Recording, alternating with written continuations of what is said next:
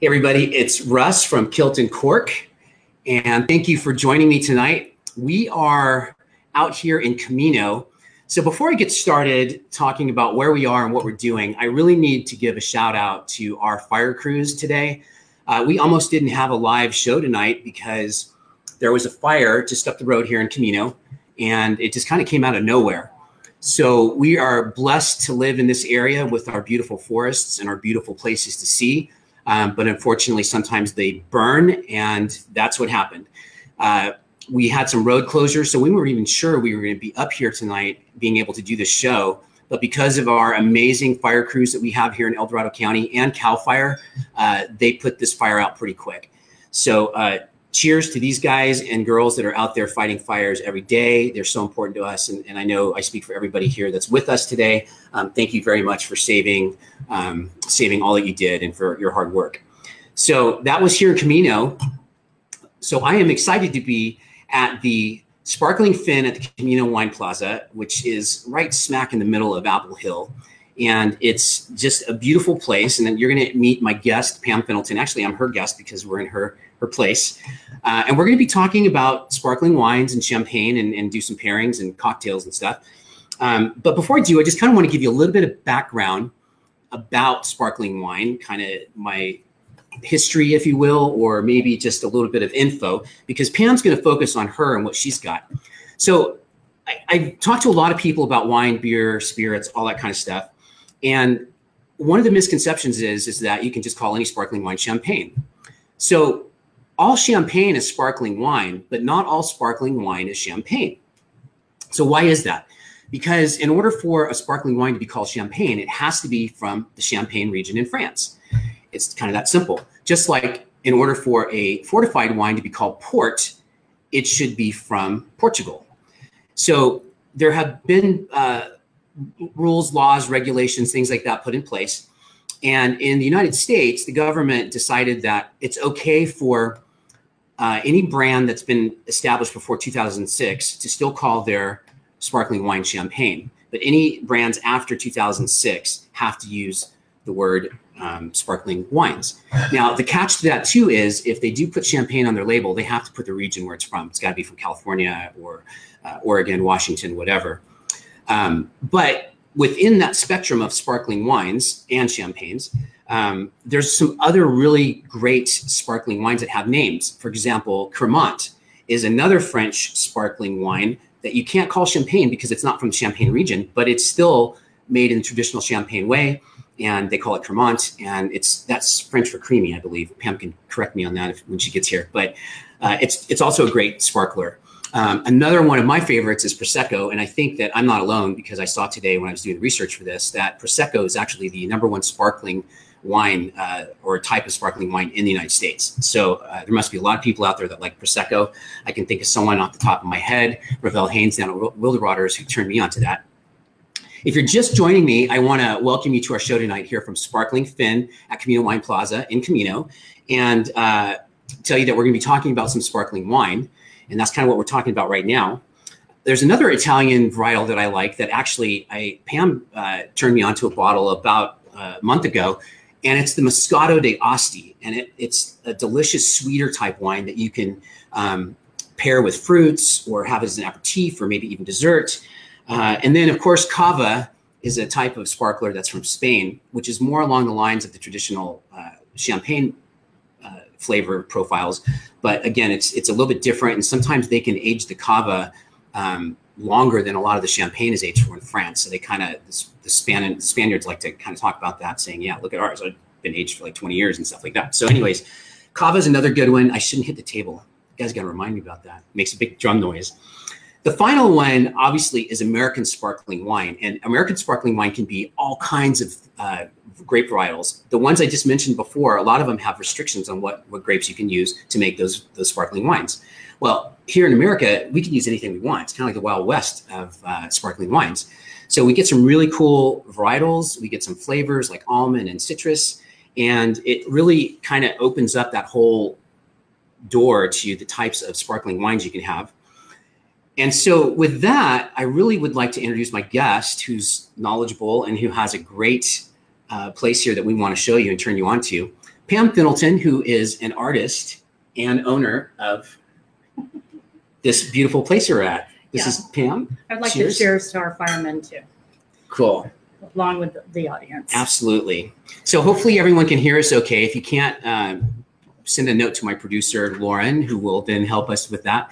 But uh, I, I'm I'm sure that uh, audio is a lot better tonight. But Pam, thank you, um, and thank you for having Thank me up here. Thank you. I appreciate it. Absolutely. So you've been here for a little while. Why don't you tell us about your shop?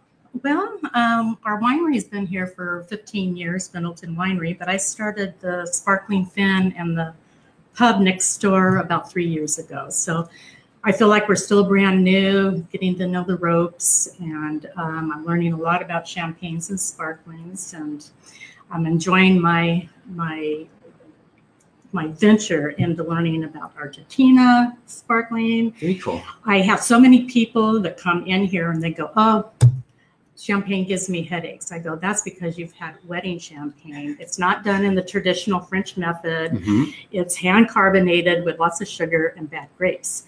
So, if you really have a good sparkling champagne, it is made in the French traditional method. We have mostly organic grapes, and that's what um, some of these high end sparkling houses are doing. They're using their organic grapes. And the American sparkling, we we have the best would be the made out of Chardonnay with the French yeast. So, anyways, we have uh, sparkling from South Africa, and you you hit the cavas, you hit the proseccos, and uh, we have Argentina. Let's see, I have a sheet list here, and I said South Africa, and I would like um, to promote South South Africa. They're just doing an amazing job, and now some of these places are bringing in more of the Chardonnay varietals and everything. Now the like. Chardonnay is that that's traditionally a champagne. Is the, the, the, the champagnes are usually champagne and uh, Pinot Noir. Pinot Noir, and Yes, there you go. Yes, and there's a lot of blending going on with that Okay. too. But there's other um, varietals now that they're adding because there's just so many varietals, and now that all these different countries are getting together and they're doing experiments Right. and things like that. Well, I wanted to tell you, you got some people saying hi. Um, Mike and Beverly House are saying hi to you out there. And uh, I want to thank everyone for joining us tonight. I'm Russ Reyes from Kilt & Cork, and this is Pam Findleton from Sparkling Fin and Findleton Winery here. And I also have to give a shout out to um, my number one fan, Stacy, who's in the audience off uh, camera right. Uh, she came up to, to be a part of this, and that really means a lot to me. So thank you so much. Um, and everyone out, we have uh, Carol in the back there. Thank you for being here. So, you guys, thank you for joining us. We're talking about champagne and and sparklers. And what are we drinking here? What is this? This is the Luna. It's um, a prosecco. Okay. Made by a um, woman winemaker. Her bottles are amazing, and this is made out of organic grapes. I think it won like 86 in the Wine Spectator. Wow. And the reason I'm pouring this uh, prosecco is because we're going to make a cocktail in a little bit. Oh, and um, proseccos make the best cocktails if you're going to be adding or if you're going to be making a mimosa.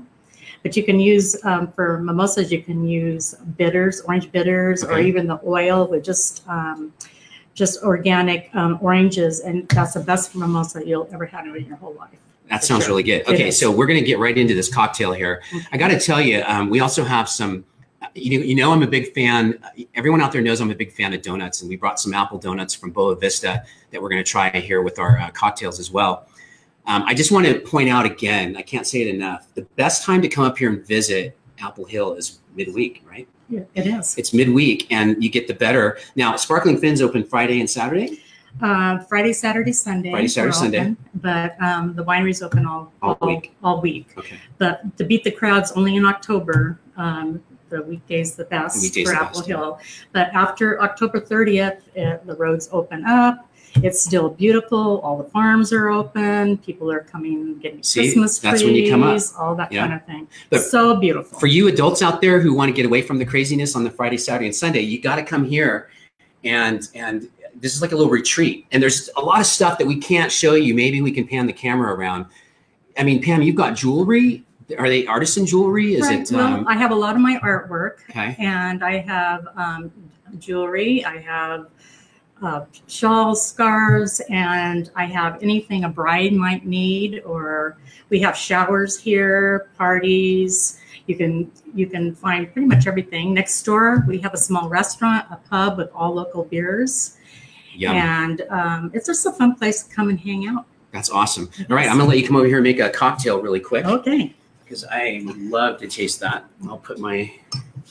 Okay. So what else do you need? Well, we can Oh. use these glasses, but they don't stand up very good. So you So I'm gonna hold hold this. it. Okay. So I'm just telling you right now, I'm not responsible for what happens to this glass because I'm a huge I just- klutz. I just always wanted to see a man in a kilt hold a glass. and I do like have my kilt on. You guys can't see it, but Pam can verify. Hey, uh, Diane saying hi. Hi to everyone that's out there. Hi, Diane, Diana. um, thank you I guys wish for you were joining us. here. Diana's my cook in the pub. Hi.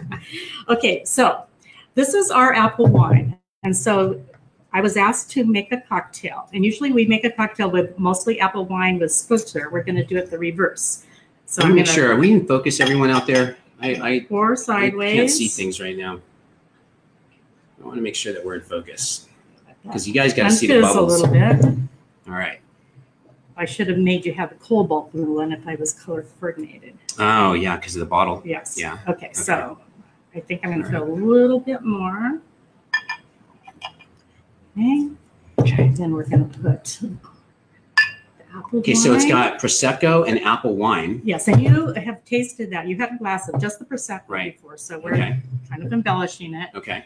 And so this is the magic part. Okay. If Can you guys see this if you're there? sparkling, kind of is going unfizzy, Okay. do this. Wow, look at that. You guys see that on the camera? That is so cool. All right. A little bit more. Of course, gotta have more. Let And a little bit more, and a little bit more what? Okay, now wait, wait. Oh, okay. Because if you're gonna have this with the apple donut, you have Okay. to have a slice of apple. Oh, look at that. Okay, that's awesome. That's pretty awesome. That is pretty awesome. All right, I'm gonna taste it. guys, guys out there, if you're if you're worried about drinking sparkling wine, you shouldn't worry about it. 'cause It's No. awesome. And I was Delicious. just I was just telling you it's the new health drink. It's Mhm. low in calories, low in alcohol, and studies say it prevents memory loss and Alzheimer's. Yay! All right, so this is an apple donut from Boa Vista. Are you gonna dip it in? Oh, I can do that. There's no rules, is there? Now here, Damn, I do- here at the Sparkling Fin. All right. That's really good. I like it. But you know, last time we did beer, but I, I, I the sparkling wine is delicious. Yeah, I'm gonna dip it. What the heck? Can you guys see that?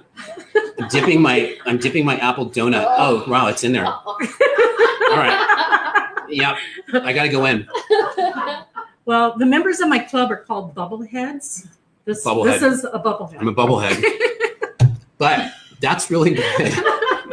I highly recommend dipping your donuts into hey, this is like a breakfast though, right? I mean champagne and, and sparkling wine and Yeah. donuts, that's awesome. And after that, you'll remember to eat lunch because it Hopefully. helps your memory. Okay. So Here, would you like me to take that now? no, I can hold this. Okay. I, it's I All feel right, like it's a magic wand or something is. though. It's like, but if I do that, I'll hit Stacy and it's gonna fly everywhere. Okay. Um, you gotta come back over here. People Okay. can't see you. I think you're All like there you're disappearing. There you go. Okay. Um, what else do you have here? What else what else do we make? Well, I have something that's really magical. This is kind of I'm would of share this with you guys in the audience, but you're probably not gonna want to look at it's it's still really good. I'll put this down in here. I don't know if you'll be able to see this right, Okay. but this is a wild hibiscus flower. So you put the champagne in the glass. Let's move it aside here. I think that microphone might be in the way. There you go. I reach over and I grab this fork. Okay, guys, take note on this because you can surprise your your wife, girlfriend, fiance, It whatever, on the weekend with this kind of stuff. Voila, there's the flower. take note. Put it in there and That it, looks like a good Halloween drink. it blooms. It's kind of like Definitely is blooming. it is blooming. It's a blooming flower. Something like that. Right. So you could put like Scottish cran- a little bit of cranberry juice or put Okay. a little bit So of then the put some of that in there? syrup. Okay. Okay, now taste that and tell me what you think. Okay. So hibiscus, that's Let like um yeah, this is very romantic when you watch the flower bloom. okay. Yes. I'm not even gonna go there. this isn't an This this, is isn't a child show. This is a, an adult show. But I, even me, I can. We're just gonna leave the bloom in the in the glass. You know what? Let's just. So Pam loves to paint. She's an artist. She did a painting that I'm fascinated with. Oh, gosh. You'll find out why. But it's on the bottle. It's this It's, bottle. it's this bottle right here. It's a um, beautiful woman in a vineyard naked. Mhm. So how did that happen? I mean, how do you get a woman in a vineyard naked? How do I get her? those ideas? Well, this was done. This It's is we great grow, wine, by the way. We grow Pinot Noir. Yeah. This was our. We planted all of these grapes. Come back over here. We we planted all these grapes. We are not young, and it- we it takes four or five years to get a really good first harvest. Right. This is our vineyard in the winter. That could be me, maybe 40, 50 years ago. No. but it's it talks about the vulnerability of waiting for that first harvest. You just don't know. It's a lot of money, a lot of time, a lot of emotional investment. And to me, when I saw our vineyard in the snow like this, it was just I I, I love to paint the women in wine related situations, and I always love to tell a story. And so this is just the vulnerability of waiting for that first harvest. Very cool. I love that. So again, her artwork is beautiful. It's on the bottles. It's in the tasting room. It's here. Uh, I really encourage you to come out and check out this place because it's really fun. And the cocktails. Now you do cocktails on the weekends too, right? We do, uh, yes, we have a, uh, tons of mimosas, with- even ones with gummy bears and That's anything that you bears. would like. There's so many things that you can experiment. And of course, we can't serve hard um, alcohol, but if I Yeah.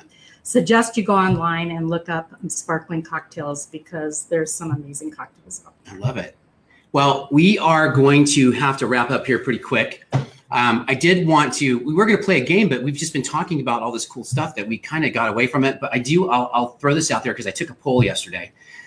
Since we're talking about blossoms and and women in vineyards, so what is Oh my God. where where according to my my viewers where is the better place to, to enjoy a glass of sparkling wine is it the bedroom or the bathtub Oh gosh, there it, that's a hard one. Bedroom or the bath? bedroom or the bathtub Bedroom. you know what i'm going to say cheers get your glass because I that was what i would have said but 89% of our viewers said the bathtub is where they would like to enjoy their sparkling wine That's because our men aren't accustomed to drinking champagne. We got to get them educated. Uh, see, there you go. So, guys, if you're watching, you need to come up here, get a bottle of sparkling wine, take it home, and let it blossom because that's awesome. Well, Pam, listen, thank you so much for joining me today. I just want to do a really quick shout out. Um, we've got an event coming up in two weeks. It's the Big Crush down in Amador, and we're going to have tickets to give away like we normally do. Mhm. So next week's uh, next Thursday's show, uh, I'll tell you about that too, really quick.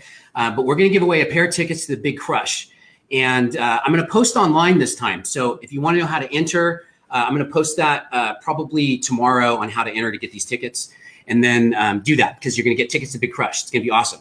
Next week we're broadcasting live from Reno, uh, not Reno, from Carson City, Nevada, and it's going to be a really interesting show because I'm not going to be the only guy wearing a kilt. So if you want to see a bunch of guys wearing kilts, we're not going to be drinking champagne because these guys probably wouldn't drink champagne with me, especially with a blossom. But we are going to be drinking whiskey, lots of it, and we're going to be talking about whiskey, bourbon, and cigars. So my buddies are going to join me live from Carson City because it's our Rogue weekend, and we'll tell you a little bit about that too. Uh, and then you won't hear from me for a couple of days probably because we do a lot of drinking and a lot of golf and fun stuff like that. So that's next week. Tune in Thursday at 5:30 next week.